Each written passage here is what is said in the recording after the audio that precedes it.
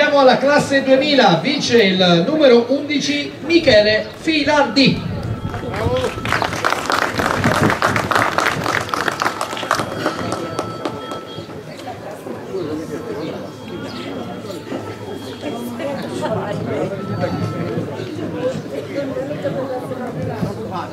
Un applauso signori, un applauso,